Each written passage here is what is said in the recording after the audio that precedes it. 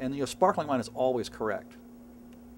Except I think it's frowned upon some, uh, dancing on someone's grave while drinking s- sparkling wine. I guess it depends on the person. Right.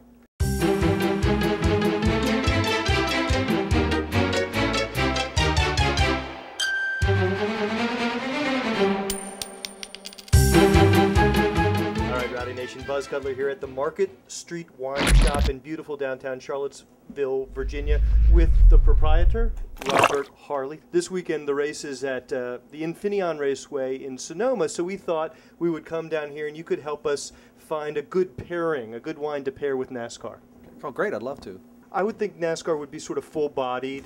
Um, maybe something, you know, to, to sort of chew your mouth around. What, I mean, that's sort of my gut. What do you think? I think that sounds like a great idea. And it just so happens I have two bottles from Sonoma right here on the counter. Amazing coincidence. They would, I think would fit the bill. Uh, the first is Cline. Uh, it's their Zin, California, but uh, most of the grapes come from Sonoma. That's where the winery is located in southern Sonoma. And uh, I think it sells for around uh, $11. It's just a great bargain Zinfandel. Just big, plump, juicy, spicy, you know, smooth, uh, no edges.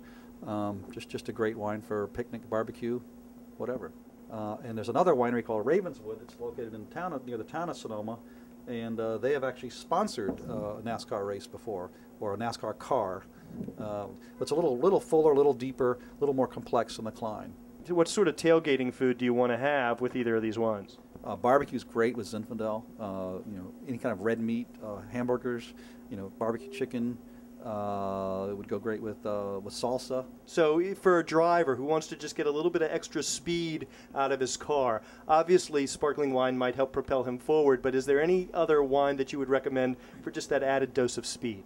Added dose of speed. Well, a screw top would be open it quicker. you could have a pit stop and just you know you could put it on and off. I don't know. Is there any wine like through a straw or through a water bottle that would be better than any other? There are some uh, wines that come in different odd bottles, like the Tetra Pak uh, in the bag in the box. Here's a Washington State Cabernet Powers. It's got a little spigot on there. You open it up, and it keeps for 45 days because the, uh, the, there's a plastic bag that collapses and keeps the wine fresh. So Well, great technology. With a name like Powers, you would think it, it would be plenty fast, and this is actually decent wine? It is decent wine. Years ago, the wine that was put in these kind of things was trash. Like, I don't want to, but there was just grocery store wine that was uninteresting. But now people are trying to find ways to get things to the market cheaper, uh, and this has a lot less weight. Half the weight in a case of wine is from the glass. So if you can package it in something like this, not only can uh, you have something that'll stay fresh for 45 days, you don't have to drink it all up, but it's cheaper in terms of shipping. Which is also good for NASCAR because each car has a certain weight limit and weight requirements that they have to uh, Yeah. meet uh, to get through inspection. So that's good to know. Now, one of the favorites at this race, because he's a road course specialist, is a guy named Juan Pablo Montoya, who's from Bogota, Colombia. Um, any wines for um, Juan Pablo fans who might want to pay homage to him with a Colombian wine? I don't know of any Colombian wine. It is tropical. Patrick Carpentier from Quebec. I guess not necessarily a big wine growing region. It's a little far north, but they do, uh, particularly they do well with ice vines or ice wines. It means the grapes actually freeze on the vine, like in December, and then they harvest them frozen and crush them frozen. And they're expensive. They can be uh, for like a, a small 187 milliliter, a quarter of a bottle, about $25. Is there sort of a fiery, sort of wreck appropriate wine that you might recommend?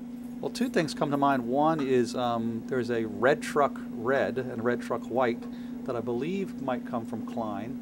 And then there's also a Runaway Train wine with a train on the label that's uh, somewhere either Napa or Sonoma. Um, that, that's kind of interesting.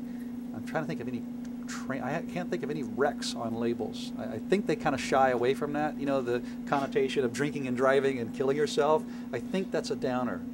Yeah, NASCAR sort of frowns on it too, um, funnily enough. Well, excellent. Uh, Robert Harley from the Market Street Wine Shop in Charlottesville, Virginia. Thank you for uh, taking the time to help us pair some good wine with NASCAR racing. Oh, thanks for coming by. I've, I've, I've got a few new ideas.